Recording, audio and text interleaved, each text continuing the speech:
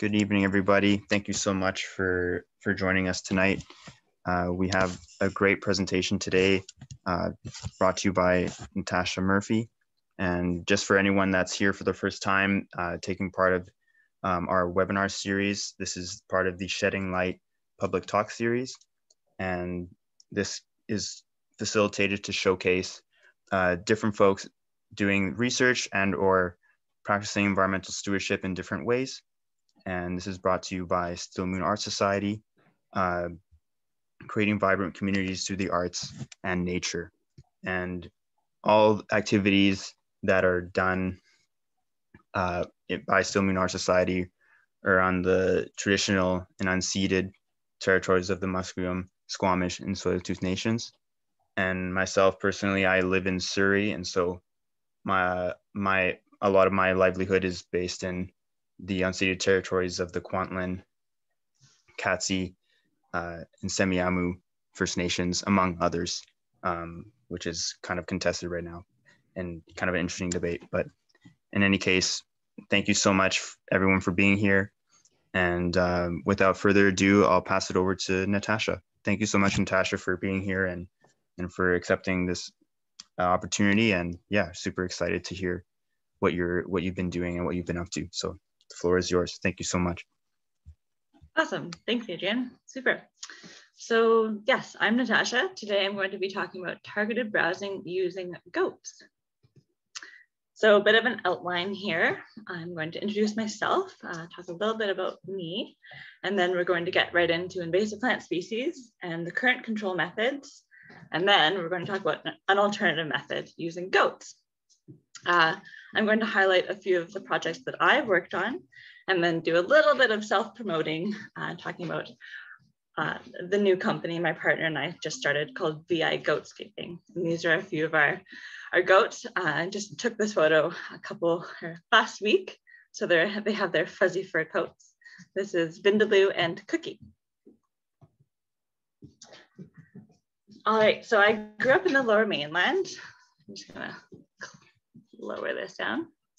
Uh, and we had lots of outdoor activities and my family um, would go on camping adventures and some of which would bring us to Vancouver Island. I always knew that the island is where I wanted to end up. Um, and so here I am now on Vancouver Island. I started, I moved here about three years ago, lived in Duncan, and now I'm up in Nanaimo with my, my partner Jasper.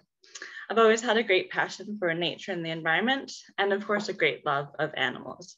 So including horses, dogs, birds, and of course now goats. I did my schooling at SFU and BCIT, and I'm hopeful for a positive change.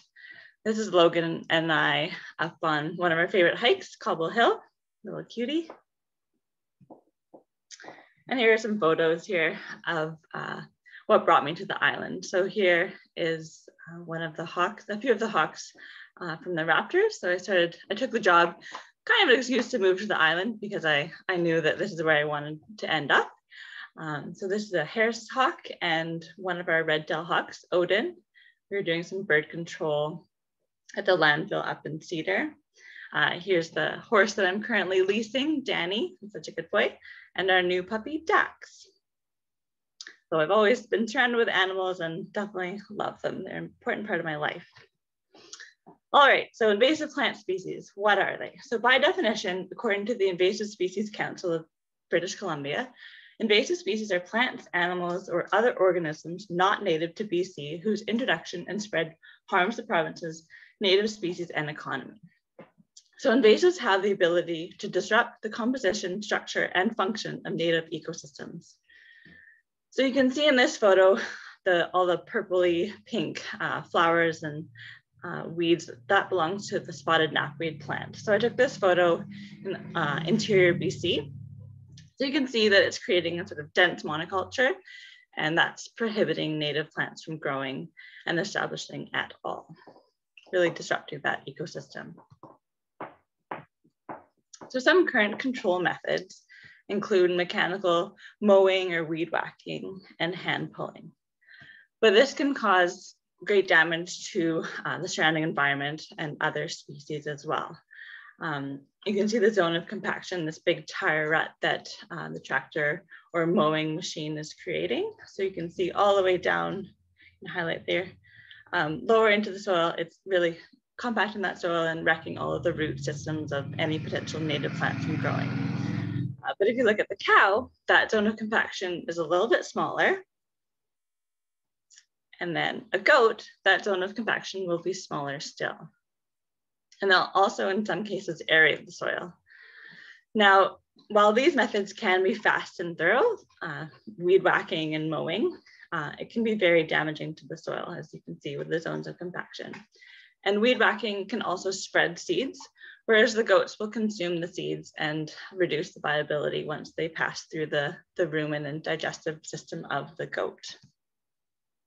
So other methods include chemicals, so spraying herbicides or pesticides, as well as burning. So these methods can be fast and thorough. You can really get a large area sort of totally eradicated of the weeds, but also all of the surrounding uh, vegetation as well. So there could be um, weeds in an area, but then there could also be some native plant species that we don't want to harm or, or kill or damage in any way. Um, it can also be very damaging to the soil. Oh, sorry. Uh, to the soil microorganisms. Skip ahead on my other little thing. There we go. And um, just widespread harm to uh, the surrounding environment. And there are also restrictions near water bodies. So we can't spray chemicals next to a stream or in a lake because of the fish habitat and even the downstream environment. So we're spraying in one area, well, it could be next to a water body or um, taking that into the stream and uh, damaging the ecosystems downstream as well. And if you look at this guy, he's on a big heavy tractor and he's spraying chemicals. So not ideal. He is kind of maybe wearing safety glasses. They look more just like sunglasses, but not good overall. So an alternative method, goats. So they are an effective uh, biocontrol. So biocontrol meaning uh, they're an animal used to control another species. So in this case, we're using goats to control invasive plant species. Goats are environmentally friendly. And as I mentioned, they aerate the soil and of course they fertilize the soil with their droppings. Uh, compost from goats is definitely one of the better compost out there. Uh, our garden is doing great with our goat compost so far. Um, this is a picture of a few of our goats um, at a site nearby our house in Nanaimo here. They're chewing away on a whole bunch of English ivy. Here's Cookie, uh, Vindaloo, and our little doeling, Stella Luna. So why goats? Goats can work near water bodies where machines would have some trouble sort of working on, um, oh, sorry, chemicals, you can't spray chemicals. And then goats can also have no problem with steep slopes. So a heavy machine couldn't um, maneuver as easily on a steep slope. And even humans, it's sort of tricky to uh, maneuver a big um, weed whacker when you're on a bit of a slope. And it can be potentially quite dangerous. And they're also fun to see in public areas. This is sort of my token photo for that. Uh, the goats are working near a water body. This is up at Logan Lake. Uh, they're on a, a, bit of a slope here and they're next to a, a walkway. So we were able to chat with the, the public as they walk by and um, talk about what the goats are doing, why they're here, and answer any questions that um, people walking by may have. Now, um, this is uh, Conrad Lindblom up on his horse there and, and his little, um, a few of his, his goats. And that is how I actually became involved with goats for invasive species management. Here's another photo of Conrad up there on the hill on his one of his horses, and the goats again on a, on a pretty steep slope. And they're managing it with no problem uh, up there eating the weeds and sort of along uh, the roadway there. And Conrad and Donna work for Rocky or own Rocky Ridge Vegetation Control. They're based, they've moved now to Beaverlodge, Alberta. I want to say they're in their sort of third retirement phase. So they're kind of done with uh, working, but at the time when I did my master's, they were they were still pretty active. and I met uh, Conrad and Donna up at Logan Lake.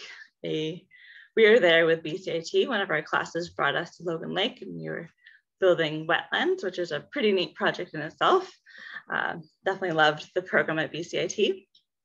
And Conrad had brought his goats to give us a demo uh, and they ate a bunch of Canada thistle and other weeds in the area. And I thought, hey, this is pretty effective and it's fun to see the goats working instead of sort of spraying chemicals or having big heavy machines in the area. And then I moved on to um, the master's program in eco ecological restoration at SFU and BCIT, the joint program, lots of great fun. And I wanted, when we were thinking about thesis projects, I wanted something that I was passionate about, something that I was really interested in instead of sort of picking from a list and um, doing any project. Uh, so I emailed Conrad and Donna Lindblom and sort of said, hey, like, can you let me come up and collect a little bit of data before uh, your goats go into the site. And then uh, I would love to come back and collect more data afterwards. So they, they then offered me a, a job actually for the entire summer and I said, sure, like let's do it. And so I, I packed up my truck with all my camping gear and, and headed up to Kamloops at the time uh, and met them and worked for, for the summer. And uh, I ended up herding 350 goats on horseback, uh, sort of in the saddle for eight hours a day. And then I would go out um, after, uh, in the evenings after we brought the goats back to camp and uh, go out and collect my data with my little notebook and all the things. So I can definitely say that I have the neatest project of my cohort. Maybe not the best, but uh, one of the neatest for sure. So a few other projects that I've worked on.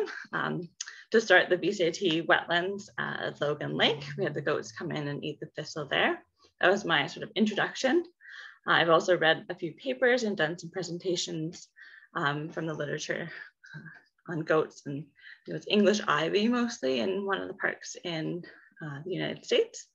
And then for my thesis research, I worked mainly in the interior BC and the Okanagan uh, working on sulfur cinquefoil and spotted knapweed. You'll see some of my data there a little bit later on. Uh, I actually did a, a volunteer invasive species removal event with Still Moon. That was sort of our introduction first on, on our own uh, with my first goat, Logan. I named him after Logan Lake, of course. Um, my friend Chloe was working for Still Moon at the time and said, hey, bring your goat out. We're having this invasive species pull. And so I loaded loaded uh, Logan up in the truck and came down. Uh, and yeah, it was great fun. He we were working on Blackberry at the time uh, up at Renfrew Creek, and we, along with Still Moon, uh, we got to be on the news. I think it was Global and uh, CTV, so that was pretty fun. We've also worked on projects in Chilliwack. Uh, it was mostly Japanese knotweed in Chilliwack, and then we did a demonstration at the University of Fraser Valley um, on knotweed as well. There's a pretty neat time lapse if you guys can find it um, of the goats just decimating a patch of spotted knapweed. It's pretty, pretty good. Um, and then we've also worked for BC Timber Goats, Bruce Bradley. So he just started a company um, sort of the northern BC region um, this two, two summers ago. I've worked with him in Lumby and then this past summer we were up near Prince George on the cut block. I have a couple of photos of, of that project coming up. And then here in Nanaimo, we've worked in um, a few different uh, sites within the community here. So this is one of our projects last summer. These are the goats in the backyard here, working on some morning glory. It's pretty cute to watch. They've just sort of slurp it up like spaghetti. This is Sandwich, Stellaluna, and Vindaloo a couple of our goats there. Aren't they cute? Uh, so here's my partner, Jasper, and we're up um, on a cut block, sort of in between Vanderhoof and Prince George. Pretty in the middle of nowhere, sort of down three different logging roads. Uh, we camped there for, I was there for just over a month. So a bit of a, a, a field season up there. We had about 200 goats. Uh, we we're on foot in this steep, gnarly, poor terrain cut block. uh, and we had one herd dog. So it was uh, quite the experience for sure. Um, we were targeting the goats were targeting aspen and alder in order for the, the owners of the land to plant lodgepole pine. Um, now, browse, uh, goats are browsers, so it's important to think about the number of goats per area or density of uh, targeted plant. Um, so here you can see Jasper is leaning down on the bushy tree to send those branches down into one clump. And whenever you do this, you'd have sort of 10 or 15 goats charge towards you and start nibbling away at all of all of the plants, um, all of the leaves at the top there that are available in a nice juicy clump. So it was pretty fun to watch. Um, and then the photo next to Jasper, you can see she's done this herself. So she's straddled the, the tree and she's walked up it a bit and is bending the tree over so she can get at those juicy leaves at the top. So goats are pretty smart. They're um, sometimes a little too clever, um, but this is a, a great illustration of um, the goats using their little brains to get, get those weeds. Now, because we're in such an open area, the goats sort of would nibble a little bit of a, a bushy plant or leaf and move on. Um, so we ended up having to concentrate them in a smaller area in order for them to be the most effective and really get all of those leaves which ended up working quite well um, at the end of our project there. So I'm going to talk a little bit about my thesis research. Uh, my paper is called The Efficacy of Goat Browsing on Invasive Plant Spe Species in British Columbia. And this little cute um, heart-shaped petal um, flower was one of the main species I worked on. It's called sulfur cinquefoil. It has a um, sort of a, a weed shaped leaf, sort of very jaggedy toothed leaves, and then these cute little pale uh, yellow flowers. And this is the herd here having a bit of a, a break under the shade of some lodgepole pines. Uh, one of the herd dogs named Sam, little German Shepherd, and that's the horse I got to borrow. His name was Maverick. He was pretty awesome. Um, so the, the goats we'll work sort of in the morning. We'll bring them out in the morning from camp, and then they'll they'll eat all the a bunch of weeds, and then they'll have to have a bit of a break and chew their cud and and have a rest, and then they'll get up a short while later and continue on their browsing. So it gave us a bit of a break as well. Sometimes we we'd hop down from the saddle and give our give our legs a little bit a stretch as well. And as I mentioned, once uh, the day was sort of through, we would bring the goats back to camp to have, so they could have a rest and a bunch of water and just be one concentrated in one area, um, safe from predators. And then I would go out and collect my data. So this is kind of what that would look like. Uh, that's me up there on Maverick. Isn't he cute? um, and then this is kind of what my saddle would look like typically in a day. I have my little sweater or jacket, depending on what the weather is doing.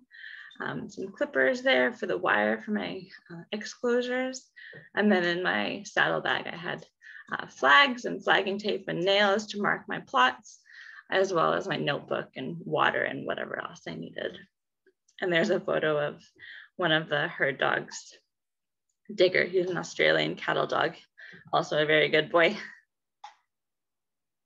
So a little bit about my methods and data collection here. So I had sample and control plots. I used a one meter by one meter quadrat frame.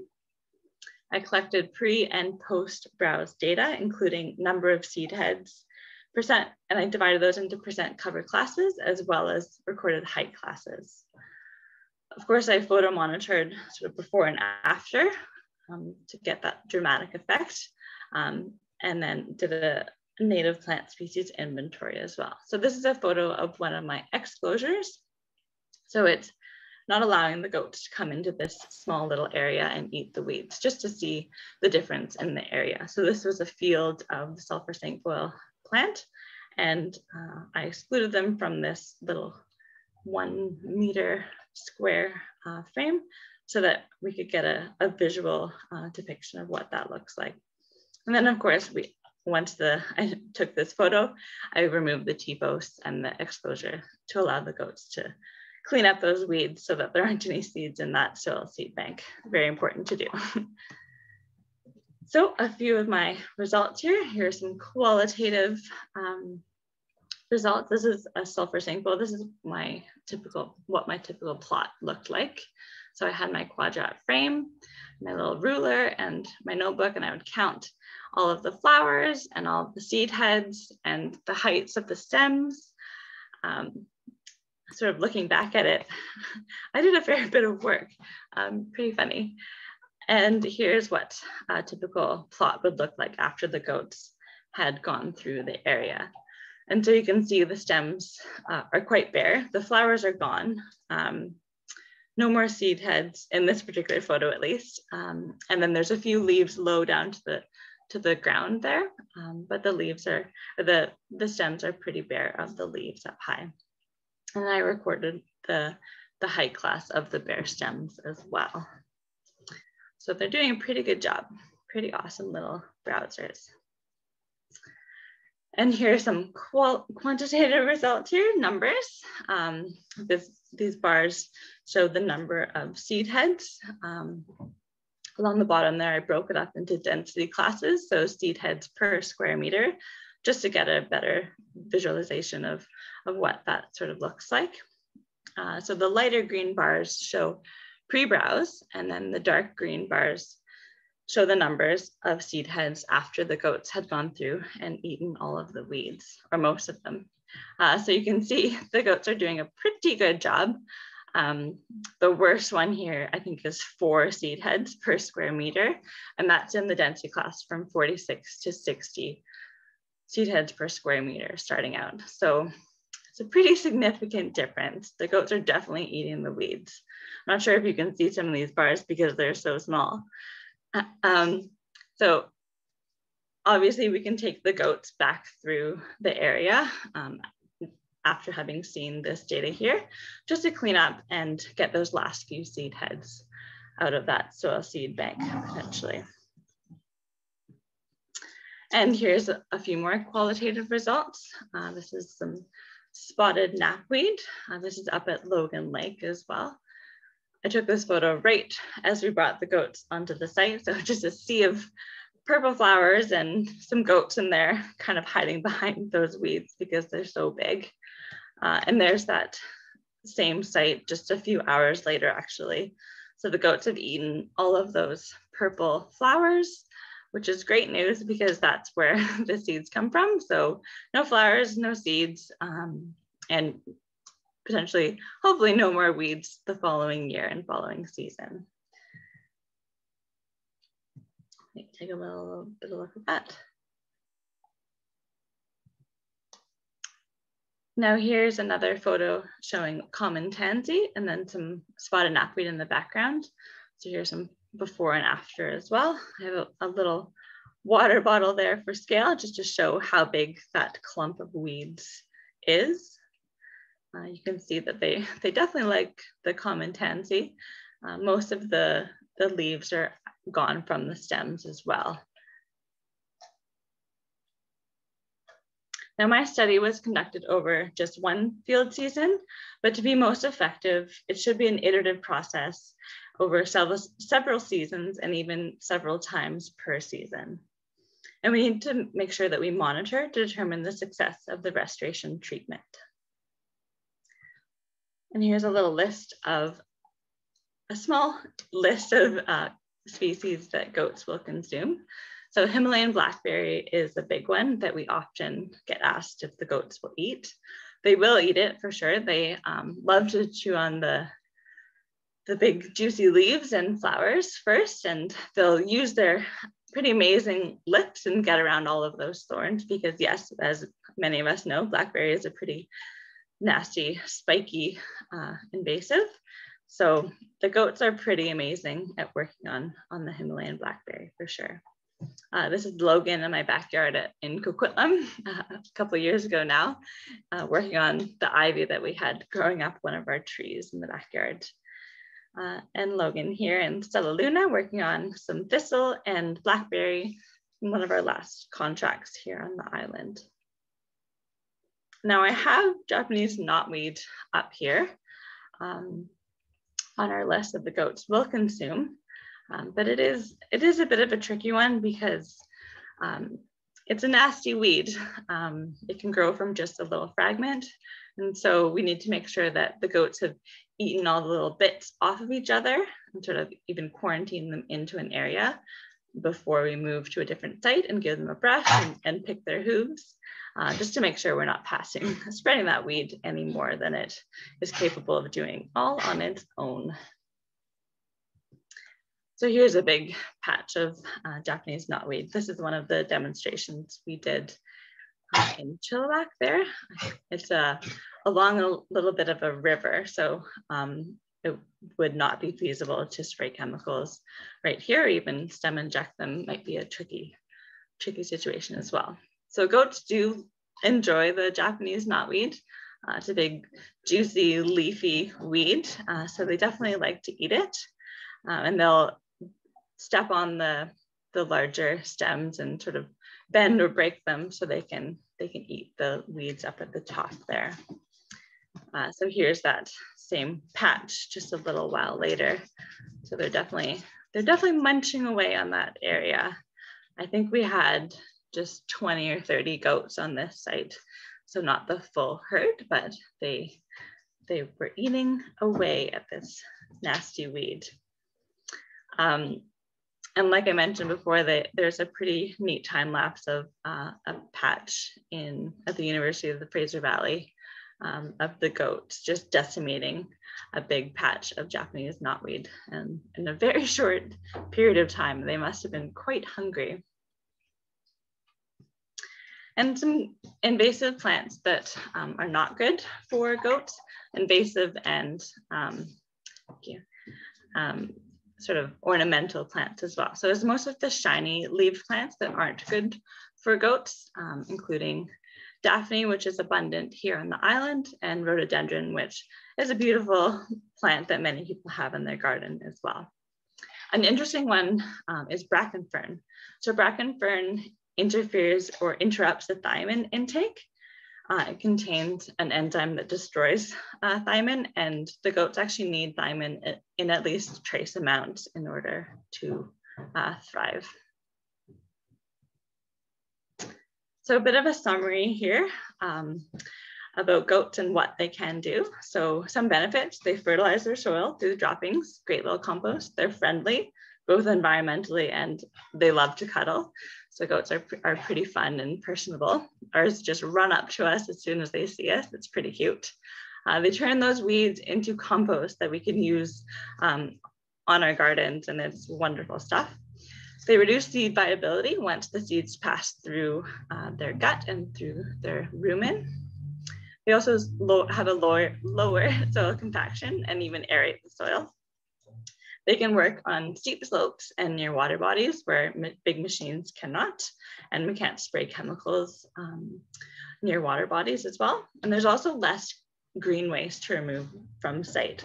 So when we weed whack, all of that green waste is left on site to either rot or uh, be removed. So it's a lot less work um, in that respect because the goats are consuming it and, and turning it into compost. And of course, they're fun to watch. Come on, they're goats. Uh, a few drawbacks. Goats can be loud. I mean, they're not quite as loud as a machine, um, but if we're working within city limits, uh, we need to be careful of, of who the neighbors are and um, how much the goats are chatting and just make sure that they have enough food so that um, they're working away and not, not having the opportunity to be too loud. Uh, it is a little bit of a slower process, I'll admit it. Um, machines can go through an area and just decimate a patch of weeds. Uh, so goats take a little bit longer than that. And it is an iterative process. We do need to come back in over um, the season and even over a few years just to make sure we're getting all of those weeds. And they have to leave the site, I mean. um, and it's always good to have signage up uh, whether we're spraying pesticides or even having goats at work. Um, here, this is a, an example of sort of caution, pesticides, keep away, like keep your children away, make sure your dogs don't come near the site and it's very negative and sort of stay back. But um, for us, we'll have goats at work, welcome, like come say hi. Um, we'll have maybe a few that you can come and pet and interact with uh, while we chat to you about the goats. So yeah, let's talk about some positive stuff in our in our future here. So my partner and I just started um, our own little small business called Vancouver Island Goatscaping. It's landscaping with goats. Cute name, right? Um, it was last March. They were born March 15th, and um, I wasn't working, so I thought, well, yeah, I can bottle raise four baby goats. I can bottle feed them four times a day, no big deal. Warm up that milk. They're super cute. And so we did. And um, now they've they've grown. They're coming up to um, their first birthday here pretty soon. Um, and they're great little workers and they've been they've been lots of fun for sure. We have a little bit of a different method. We actually panel our goats into the target area instead of having them in a big open space. Um, they're, they're concentrated um, in one area where we're focusing on that uh, weed of, of interest. And then we can move the panels to a different site so that the goats work in that area as well. And we found it to be quite effective. So great success so far. Um, here are the goats at one of our um, sites here in Nanaimo. Big, huge patch of blackberry nasty stuff. Uh, so here's Logan, the goat that I started off with from, he was actually given to me um, by Conrad and Donna at the end of the field season. He was one of the bottle babies. His mom actually died. And so I was bottle feeding him all summer. And at the end of the season, they said, hey, are you taking your goat home with you? How could I not? He was a, the cutest little baby goat so I did. He sat on my lap the whole way home from Logan Lake and um, on the way home. And so he, he stayed in, in my backyard in Coquitlam for, uh, for a while. And now he's here with us in Nanaimo. Uh, we've had lots of inquiries uh, asking if um, there's anybody on the island or in BC even uh, who rents out their goats for invasive plant species management. I'm now the secretary of the Vancouver Island Goat Association, and so all of those inquiries are coming directly to me. And instead of passing them out to the rest of the membership, I can respond directly because we are actually the only um, members who offer this service at, at this time. Hopefully we'll expand and more people will be interested in having their goats uh, be working goats. Um, but clients have been very pleased so far and uh, we've had lots of positive feedback and people just want to learn about uh, the idea and about goats in general, which has been really awesome. So like I said, we're involved uh, with Vancouver Island Goat Association, VIGA, as well, as well as the BC Goat Association. We've been to a few invasive species events here in Nanaimo. The latest was just down the road from us, working on some blackberry, of course. Um, we're also involved in the education um, including animal husbandry and invasive plant management in general. My partner loves to have a working animal and so that they pay their rent. So he's pleased with uh, the fact that our goats are actually working and not just pets. the next steps are to um, involve uh, the cities and get the municipalities on board um, to allow goats within city limits um, make sure we either change bylaws or have a bit of an exemption so that goats can, can be working within city limits. Right now I'm reading a book called City Goats. Uh, it's by Jennie Grant and she advocated and was successful to have backyard, backyard goats legal in the city of Seattle, which is pretty awesome. Um, and we're actually, she started the Goat Justice League and Jasper and I are the first Canadian members, which is pretty fun. Um, goats are also an important part of farmers markets, uh, as well as local food and food security, because obviously goats uh, give us milk and cheese and soaps and fiber and of course meat. We've all heard the newest trend as well, goat yoga. So um, there's a farm just down the road from us and they do they do goat yoga with their kids. So it's pretty fun to have a little goat play with, play and, and learn with you. So not only are goats fun and cute, they're also an effective tool to manage invasive plant species on a small or large scale. Thank you. And that's it. Well, fascinating. Thank you, Natasha. Uh, yeah, we actually have um, we've had a, a few questions um, in the chat, so maybe I'll go through those first. Yeah. And then um, once we're done those, um, I definitely encourage anyone who has questions to to either unmute themselves or you can just write them in the chat. And um, but yeah, I'll just I'll I'll just go from the top here and work my way down. Perfect. Um, so Jennifer asks, do the goats get tired of invasives and go back to something they like better? Uh, how, oh, sorry, can't, there we go. How do you keep them hungry for the right plants? Great question, great question. Um, because goats, are browsers, they will sort of nibble one thing and move on to another. Um, so it's nice to have a bit of variety um, of weeds that they are targeting. And they will sort of avoid one plant and, and prefer another. Um, and to get them onto eating one weed in particular, we'll introduce them to that weed um, in their sort of home site first. So we'll bring sort of a bunch of morning glory and toss it into them so that they can get used to it and, and want to eat that. Um, and we've done that, introducing them to new species as well.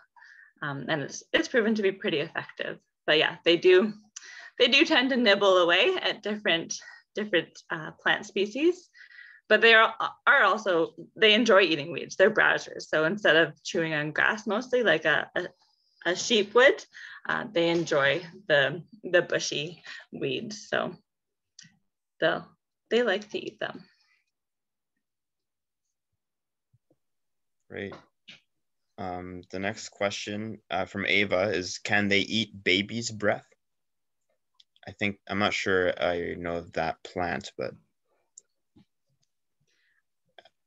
i'm assuming um, it's a um, plant I'm, I'm trying to think. Our herd has not been introduced to baby's breath. We don't really have it where we are here. Um, but when we worked in the interior, there was a bit, and they nibbled on it. Um, but it wasn't part of, a major part of my study. So um, they will eat it, but I don't have a lot of data to back that up for you.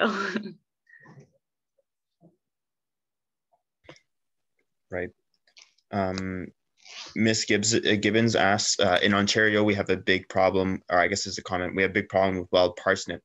Not 100% sure if it's safe for them. It causes burns on human skin, so there is a big push to get rid of it. So I guess, yeah, I guess it goes, kind of goes to what you were mentioning earlier about uh, maybe the more noxious plants. So the goats yeah. not, won't necessarily um, eat them because they'll get a they'll get sick and yeah yeah exactly and, among other factors Right. They'll nibble them a little bit um, and sort of move on to the next. So that's one they will avoid. Um, mm-hmm. The Daphne as well can cause birth defects in um, cows and horses. Mm. And so we don't say, yes, they'll eat it, sign us up for that contract um, but they'll nibble away at it in small amounts and, and that's okay they do have a pretty small or strong gut in in that respect but we're not going to um, say yes to contracts that is primarily uh, toxic to them for sure right mm-hmm. keep keep our babies healthy first and yeah, foremost absolutely um, Caitlin Connor asks, uh, do you need to kill the goats after the season is over? Good question. That's a real question. um, mm. No, you do not have to. Um, some people do when they send them to auction, especially if if you have sort of two or three hundred goats. That's a lot of goats to take through the winter, and it gets quite expensive. Um, this year we just had the five, and so we definitely brought them through the winter and um, paid for their feed and and their housing as well. Mm-hmm. Um, coming up, we'll have probably 10 or 15 more goats. And we will have to make that decision if we are willing to bring them through the winter or um, take them to the auction or otherwise process them. It is a reality. You do need, do need to um, adjust your herd management techniques for sure. Um, right. and and what that future looks like. So you don't have to, but you do need to think of um, of that logically and mm-hmm. financially mm-hmm. as well. mm-hmm. um, Monica asks, uh, do the goats increase? How do the goats increase aeration in the soil? So because they have such small little hooves, so if you run an aerator, if you've seen, they, they lift up the little pucks and the smallest goats will have that same sort of um, size hoof that um, will penetrate the soil. Bit of a stretch, I'll admit it, but yeah, more, they're not right. going to come back the soil more so. Um, just to add to the previous comment question, mm-hmm. um, we, as a byproduct from the milking industry, many people don't wish to keep the bucklings. And so they come to us. And so we're, we're saving them right off the bat from, well, being bopped on the head actually is, is the term that um, members have used. So when the bucklings come out and, and they, they see that they're male, they don't want them for the milking industry. And so they dispose of them, unfortunately. And so we're saving them um, mm. from that immediate death and uh, having them help us in the field season. Um, hopefully for longer than just the the one season, but um, definitely right. adding to their lives. And we wether our goats as well, so um, we castrate them so that they're not as smelly and um, rambunctious as bucks, and so they're they're called wethers, and they they're actually a, a great addition to the herd. Well, um, Willoughby asked, uh, "What about Scotch broom?" Good question. Um, Scotch broom is definitely a, a, nasty one. They love to eat the seed pods. Um, they're like crunchy little chips, which is pretty fun um, to hear them crunching away. And the flowers, especially, and, and new, fresh um, green stems they'll eat. Um, but you really have to concentrate them in the area in order for them to really work at it. We haven't had a contract with Scotch Broom specifically yet, but we've definitely taken them. We go on hikes with them, and so we try to concentrate them in, in one area so that they'll eat the Scotch Broom. So yes, they'll eat it, um, maybe not decimate it. We're hoping to even maybe add pigs to the herd so that they um, will dig up the roots of the blackberry and Scotch broom. So down the road, potential. Hmm. Uh, Jennifer asks, what about buttercup? They will eat it. Yeah, it is a little bit lower to the ground. And so because they're browsers, they prefer um, plants that are a little bit higher up. Um, maybe if we were to add sheep, they would prefer the, the buttercup, but yes, they'll eat it in small amounts. Great. Uh, thanks so, and uh, by the way, thanks so much everyone for your questions. These are really great. And yeah, thank you, Natasha, for, for being so thorough and answering them. Uh, Caitlin asked, um, do the goats affect the soil through grazing and trampling? Will this affect regrowth of native species? Great question. Um, they won't necessarily eat the grass because it's, I think it comprises 10% of their diet. So they're looking at sort of the higher species. Um, but if you have a herd of 350 goats going through one small area, they will um, sort of turn up the soil a little bit. Um, so it's important to remember sort of where you're going through. Um, if there's a, a, sensitive habitat, let's spread the goats out so they're not all sort of stampeding through this one little area. Um, with our goats, we just have um, we'll have probably 20 total and it'll be in smaller areas. So um, we're not too worried about the soil being damaged too much, um, but it is something to keep in mind um, that we'll have to watch to see what um, native and rare plants are there. Sure, good question. Mm-hmm. Uh, Willoughby asks, uh, do certain weeds strongly affect the flavor of meat and or milk? Also, is paneling fencing the only way to keep them off plants you want to protect? Great questions. Yeah, so what it's, yeah, kind of like a bee and its honey.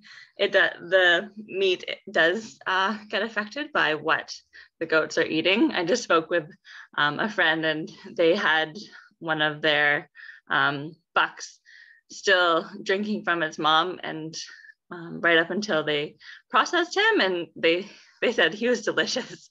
So um, definitely definitely a good one there. Uh, we might have to do some experiments about about that to see sort of concentrate one goat on one particular plant and have them eat all the yummy things and, and see how the meat is. But um, maybe we'll get there eventually.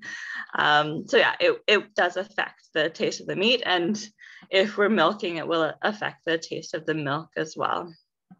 Um, paneling is not the only way. No, we actually just, um, the photo of the puppy at the beginning of my presentation, that's our new herd dog. He's a, a Beauceron, it's a French herding dog. Um, and so we're hoping that we'll get to use him to herd the goats as well. Um, the panels work great because we can leave the site and leave the goats to do their work. Um, but no, it's not the only method at all. Um, as with my thesis, we were on horseback with a few herd dogs, but that was in big open areas. So in the city, it's it is easier and uh, efficient to use the panels, and it's safe too. Is the main one. Mm-hmm. Yeah, Willoughby. I have a follow up question. Of, yeah. What about like um, say you had one to one or a few goats only. Yes. And you were to kind of have them with like a collar and tie them up to a specific spot yes. that, that works well too and then they can kind of eat that radius and yeah you you answered my question the your own question um, yeah so we, we have tried that a bit um they'll yeah the common sort of around and around and around and eat the weeds. Um, it is pretty effective, but you need to make sure that they're not going to tangle themselves up and it, it needs to be monitored a lot more closely than the panels. Um, they can get spooked by cars going by or whatever else and, and rip out um, the tether or even break their collars, which isn't ideal and, and not so safe. So the panels are, are the safest option we found, but um, if there's a patch of weeds, then we'll take one or two over on a leash with their collars and, and have them target those, those little areas. Yeah, thank you. Awesome. Uh, I think I may have missed this question by Elena. Um, I'll ask it again and let me know if I already asked you, Natasha. Yeah. But um, this question is how can the goats digest the invasive species seeds, i.e., can seeds survive in their scat? Or is it better to just target brays before plants start to seed? Yeah, so definitely a good idea before uh, the plants are in that seed set stage. Um, that's the most effective way to do it. But there have been studies where seeds have passed through their digestive system and have been not able to germinate. So they're no longer viable, which is pretty amazing. It's sort of maybe a PhD if I want to do it, but no. Um, uh, there's some sort of enzyme in their gut that destroys the seeds um, and even the mastication. So they they'll regurgitate their cud and chew um, that up again. And so maybe that is part of it as well and really just damages the casing of the seeds. And so the seeds are no longer viable or very, very low viability, um, which is pretty awesome.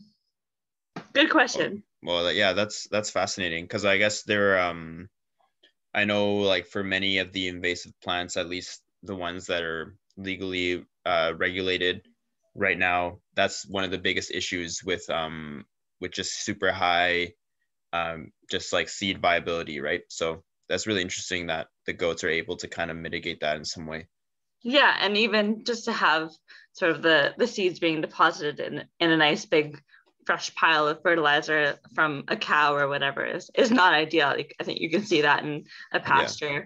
A yeah, plant yeah. growing out of a nice um, cow pie which is not ideal so yeah the goats mm-hmm. are unique unique in that way for sure you know i had a question about the um the knotweed treatment that you've done I guess mm-hmm. um I guess one of the the biggest issues not that I mean one of the biggest issues is that a that it does reproduce from such a small fragment, you know, like two millimeters. Yeah. I've heard. Nasty, Um, yep. and then uh, but also just the um, i guess the plant is exasperated to grow f- further if it's cut mechanically so i'm not sure like if having a, a have yeah what what have you seen with the goats in that respect like do the does the knotweed come back bigger than what it was Mhm. prior to um Yes, I wish I had gone back to the site to see. Um, I guess we still could now, but yep, that is a concern for sure. Um, not knotweed is definitely one of those nasty plants. Um, I'm not sure if the goats. I, I want to say I did read it somewhere, or maybe I we were just talking about it. Then maybe they have an enzyme in their saliva or some sort of um, compound that um, prevents the plant from from growing. Um, don't quote me on that, but um, instead of it being sort of whacked or cut off, the goats are a different mechanism. Um, but yeah, that is a concern, and that's why we need to go back to the site again for another treatment. Um, and I, I would be hesitant to sort of guarantee that one because it is such a nasty plant. Um, a good way to start and um, get ahead and get a, a bunch of that foliage above ground biomass away and composted, but right not going to guarantee that that nasty one won't grow back. Mhm. yeah I'll be honest with that one.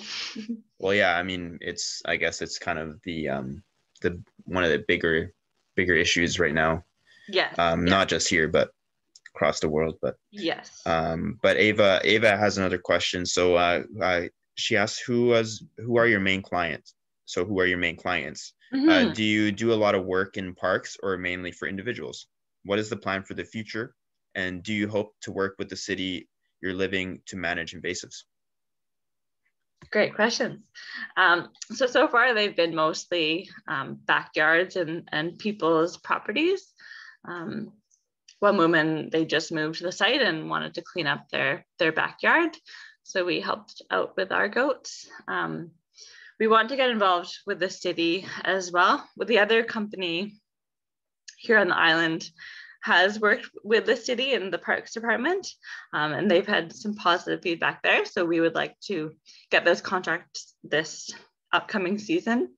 And then we, in the future, we'd love to have the bigger contracts with sort of BC Hydro and the um, underneath the power lines there. That would be a good one to sort of secure and then do the smaller jobs in backyards and for um, smaller sites that are that are interested for sure. I don't think I want 300 goats, um, but maybe upwards of close to 50 um, if we if we were to grab those those bigger contracts. Did I answer all of those questions? Did I miss one? uh i i think you spoke to most of them i guess uh do you feel like do you hope to work with the city you're living to manage invasives i don't think Yes. you mentioned that one Yeah, that's that's our sort of next steps is to get the city on board and um, even hiring us as well, for sure. Right. Uh, Gabriel asks, uh, have you compared the goat method costs to other methods such as mechanical or chemical? Yeah, we've done some comparisons, um, and they are fairly comparable. Um, some people like to be on site um, 24 7 with their goats, and that brings up the cost a little bit. Um, but with the panels, we in certain areas we're, we're able to uh, leave the goats to do their work on their own and then just check check on them. So that brings our costs way down. Um, it's actually pretty expensive to have someone come to your site with all of their equipment. Um, I didn't think that was the case, but um, it's fairly expensive. And so this, we're trying out different um, costs and, um, pardon?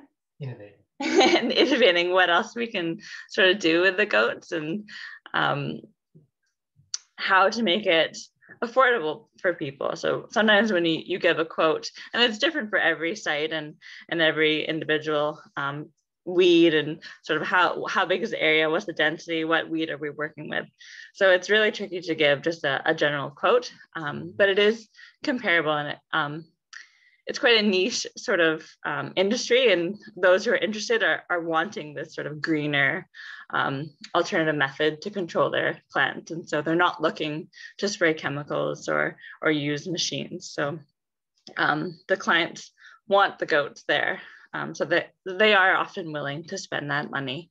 Um, when we were in prince george area it, the cost was comparable to having um, people come in with their big uh, brush cutters and um, chopping down all of the the alder and aspen, which I thought was quite interesting because it was a very large area. So yeah, it's kind of neat to see that those numbers are comparable and we're not just crazy goat people. um, can I can I ask a question, Natasha? I'm just wondering yeah. what your current situation is. Do you just have like an acre and five goats on it, or are you, are you trying to get a farm so that you can raise crops to feed them over the winter? Or yeah, great question. Um, we were initially looking for property, mm-hmm. um, but it's it's expensive out there. I don't know if you guys know that. um, and we had the babies just in our backyard um, last spring and into the summer.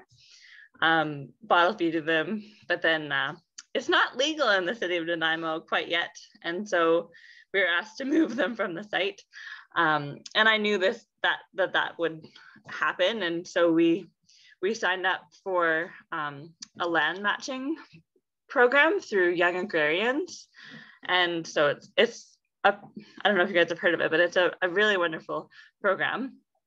People have land and we needed the land. And so we are matched with this younger couple in Cedar, which is 15 minutes from our house. And they just bought a property with 12 acres. And so we're, we were matched and they said, hey, bring your goats over. And it happened to work out um, pretty perfectly with the timing when the bylaw officer saw that we had five goats in our backyard. And so we just loaded them up and brought them over to the property. And now they have tons of space and we've built these people a fence for our goats, but um, it's been a great partnership. And so um, they're excited for us to have more goats there in the spring and to grow our company. So it's it's been a really great um, opportunity and building this relationship with them. So we can just sort of live vicariously through them and have their use their property, but also help them with the property. So it's been really, really great. Thank you. Thank you. That's really interesting. Yeah. Uh, Miss Gibbon mentions uh, look into the Canadian Agricultural Loans Act. That's how um that's how we purchased our farm. So maybe awesome. yeah maybe maybe it's something to look into. Thank you. I'm just writing this down. Canadian Favorite. Agricultural Loans Act. It's you you access it through your bank. Okay. Uh, any bank in Canada can get it, but it, and it's up to to 500,000, but it's for starting like agricultural businesses, but you can use it for land purchase with only 10% down, which if you've looked into any mortgaging any land, it's like 25%. Yes. Oh, interesting. It's the only possible way for yeah, right. For just a young Thank couple you. too, like to buy a farm, right? It's it's yeah. everything's ridiculous. Yes. thing to ask about at your bank. Yeah, great. Thank you. Well, that's a great tip. Mm-hmm. Um, yeah, um, yeah. I was really curious, Natasha, about uh, I guess the training of the I guess the dogs and and maybe and the goats and like I guess like you know have there been situations where like you're not able to to have them kind of like be able to do work because they're just kind of doing their own thing or like yeah what I don't know what what does that look like yeah, I've had some adventures with the goats for sure. Um, we took, I think we took maybe 10 or 20 down to a, a campsite um, when we were working in near, near Ver, no, near Invermere, um, in, yeah, interior BC. And we brought the horses and these goats just to give a little demonstration. And I think the local paper was there and maybe maybe a video camera. And we happened to bring uh, one of the goats that Conrad and Donna had named the jumper. I thought, uh oh, like this probably isn't a good good plan. But in the trailer she she went, so she came along with us. And um, partway through the demonstration, she decided to take off and she took sort of five or six other goats with her. And so we jumped on the horses and chased them down and all up through the hills and up and down. And it was quite the adventure, but um, not super great. So, yes, they sometimes do get away from you um, in that sort of situation. Um, that's where the panels are quite nice. They're in a small enclosure. And then I guess also the training and sort of how you raise the goats is a factor as well. Um, with Conrad's goats as well as Bruce's, they're not sort of hand tame at all. There may be a few that are bottle fed that will come up to you. And so they're very skittish and they'll run away from people and dogs and whatever else, something that spooks them. Um, whereas our goats, they've been bottle bottle raised and they come on hikes with us and we don't even have leashes anymore. They'll just sort of trot along beside us and make sure that we're not too far away from them. It's pretty super cute. Um, but they'll come to us and so we're it's a different sort of method and um, so we can guide them to the weeds instead of corralling them um, going sort of herding them to the weeds. And so the dog is mostly in case some get away and just to have that presence, but um, it's a different method to have um, friendlier goats that will stick with you. Um, another little story when we were up in Prince George, um, Bruce decided to add 80 more goats to the already established herd, which can be a tricky thing to do when you're in the middle of nowhere with no fences. And uh, sure enough, I woke up in the morning. I was on the, the early shift and we got up there at, I think it was, I think, it, I think my shift started at six, sort of just as the, the sun was coming up.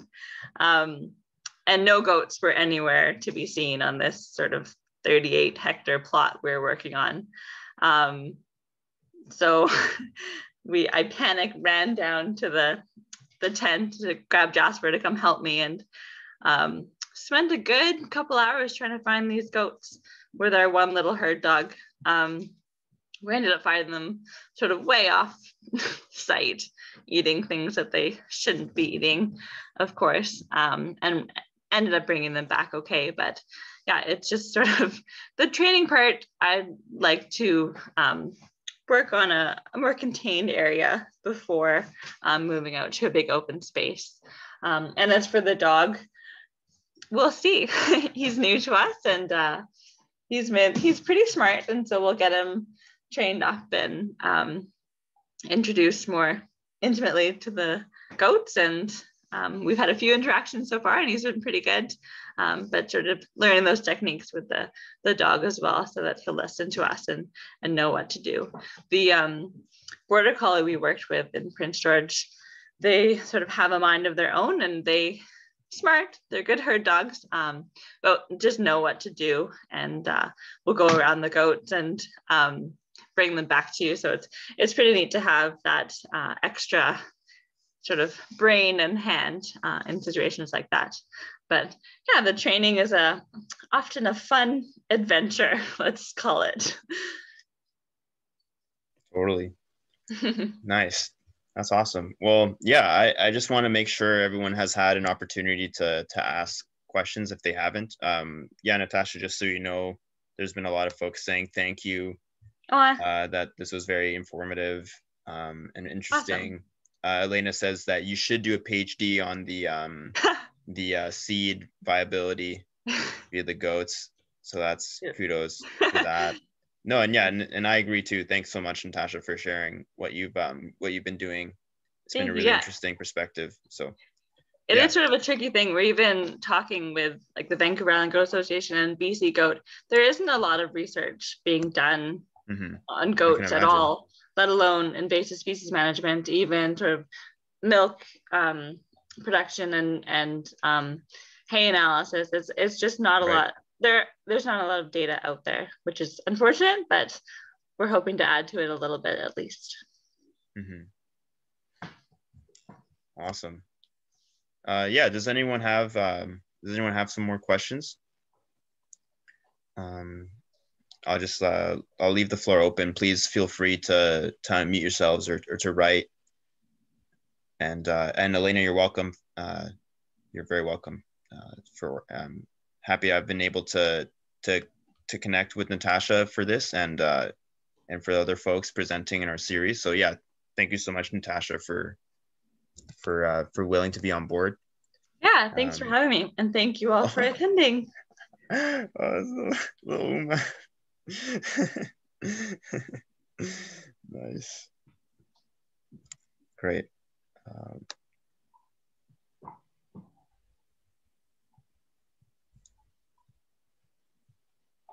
oh, and uh, Ava mentions that, um, yeah, the Invasive Species Council of BC would love a goat partner. That's what. Oh, cool. What okay. Super. yeah, I'm curious. Have you, um, I guess, have you, um, been in contact with any of those folks? Like, I guess there's, of course, ICBC, uh, Invasive Council of British Columbia, and then there's Invasive Council of Metro Vancouver. And I'm not sure if there's if there's um one specifically for the island, but um yeah, have you um have have you been able to be in contact with them? Is there's is that something that maybe they'd be wanting to kind of explore? Yeah, you know, I've looked into it a bit. I guess I've been a little bit hesitant, nervous to contact them, but I, I mean, of course, mm-hmm. like why not open open the conversation? Yeah, that's a very good point. I should do that. not yeah, be I mean, so shy and whatever else. But yeah. No, I mean, um, it seems like there's. Uh, I mean, seems like there's there's uh, some interesting benefits to to that process, and so and it could be useful, especially around um, uh, areas where uh, traditional treatments aren't viable. So yeah, yeah, I mean, it could be it could be a thing. Yeah, so. or even to have sort of one application and and clean up the rest with another method. Um, sort of using a few different methods, I think, would be effective as well. Mm-hmm. Mm-hmm. Yeah, that's my hope is to have the goats come through and clean up the weeds, and then we'll go into the area and plant native plant species. That was my initial hope with uh, yeah this project. With my ecological restoration backward background, right? Just mm-hmm. that sure. always in mind. For sure. Um, any anyone else have some questions? I I did have a question. Mm-hmm. Uh, trying to think of how to word it though. Um, I'm thinking about is there like a certain calculation you use for how many goats for how long on each kind of plot? And it, does that depend on which species you're targeting? Like how many? Just where we're coming from is on our own property. We're just kind yeah. of we're just managing it on our own property, and we're right. just wanting to preserve our land, you know, for the wildlife and and the native species, basically mm-hmm. to exist with our goats more than right to, you know, it is good if we are targeting invasive species, and I need to kind of um, look into what those are on our property. But just like basically, I don't want to overgraze, and I don't want yes, yes, to to hurt our land, right? So that's yeah. Just trying to think of how to prevent that overgrazing, like making sure we do it. Is it just by sight, like how long you leave them on each spot, kind of thing? Yeah, it's very site dependent for sure. So you have to think about yeah, the area, what species are there, how dense the foliage is, and um, native and um, invasive species. Whereabouts are you? Um, we're in Ontario. Okay. We're between, like, we're in Napanee, so we're between Kingston, like, we're near Kingston area. Okay, and and what speed? Ottawa what, and Toronto. And what weeds are you targeting? Um, well, that's what I, I haven't identified yet. So I'm thinking okay. once it's spring, getting right, yeah. My, when things the, are growing. The Conservation again. Authority over yeah. here to like help yeah. me identify because I, I don't have knowledge of that, like what exactly right. targeting. But I just yeah. want to sure that I'm not hurting any of the native species. Yeah, uh, and it, yeah, even just to do a plant inventory is super, and yeah, I think that's something we need to do for sure. Yeah, because they if they're left in an area that um yeah there are they're just more goats at, per sort of square meter then yeah they they will eat away um, the natives potentially and the weeds as well. So it is it's a it's a monitored and managed uh, method for sure.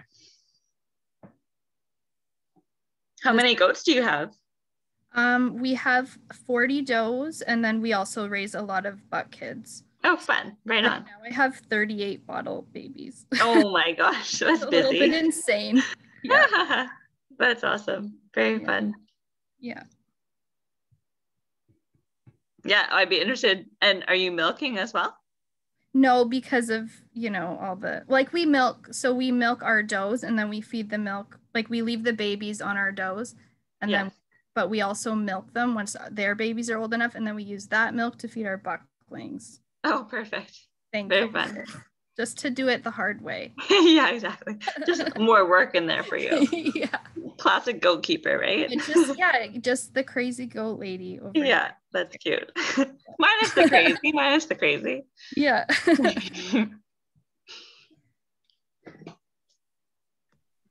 cool. Um, yeah, folks, is there um, any other questions? I feel like, yeah, there's been a bunch of uh, people that have signed off.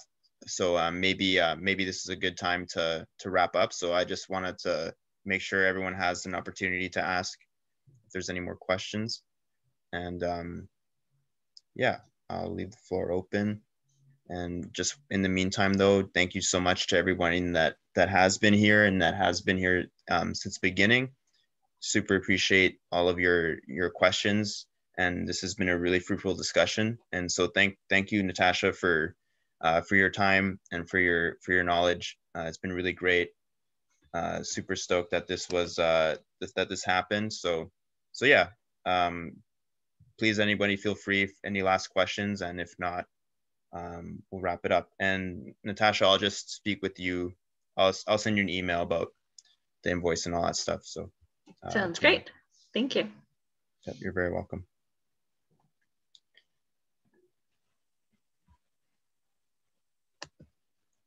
Very fun. Yeah, I don't know. I'm not sure if you can see the chat, but yeah, people are just like, thank you so much, Natasha. Uh, oh. Willoughby says, thanks, Natasha and the Stream Keepers. Yes, thank you, Stream Keepers. Um, oh, wait. Uh, more. Um, yeah, that the, uh, Caitlin says this was a great learning experience. Awesome. Well, thank you and, so much. And Joshua great. says, uh, really interesting info. And thank you again, Natasha and Adrian. And yeah, you're very welcome, Joshua. So yeah, I mean, if that's, uh, I think that's a wrap. So um, yeah, I'm gonna stop the recording here.